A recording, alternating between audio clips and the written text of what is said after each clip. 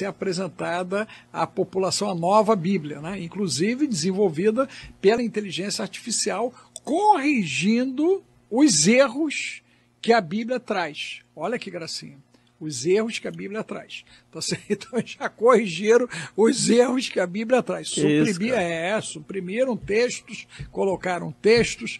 Então, né, quem comprou Bíblia, comprou Bíblia. Né? Daqui a pouquinho você não vai mais comprar Bíblia. Então, sugiro que você faça estoque de Bíblia. Mais do que isso, sugiro que, inclusive, você Leia a Bíblia é, e guarde a Bíblia, porque daqui a pouquinho vão te convidar a você entregar sua Bíblia, inclusive. Por quê?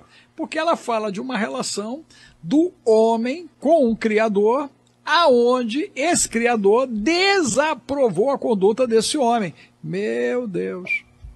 Olha Sim. só. Então eu não quero saber que esse cara pode me matar. Eu não vou morrer. Eu não quero saber que ele vai me jogar praga. Eu vou resolver as pragas todas. Eu vou mudar o processo genético, eu vou mudar o processo da natureza. Eu vou até os portões dos céus para me mostrar na condição de quem se rebelou contra ele. Elon Musk disse que está liderando uma rebelião até o portão dos céus.